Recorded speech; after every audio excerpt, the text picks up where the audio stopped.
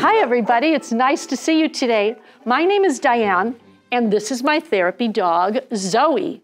Zoe is 11 years old. Well, you know, we think she's 11 years old because she was adopted. She was found on the streets of South Phoenix and she was two pounds lighter than she is now. She was skinny and just had fleas and all kinds of things wrong with her. And when we adopted her, she became a therapy dog a year later. And she's been part of Gabriel's Angels for a long time now, maybe even longer than you were born.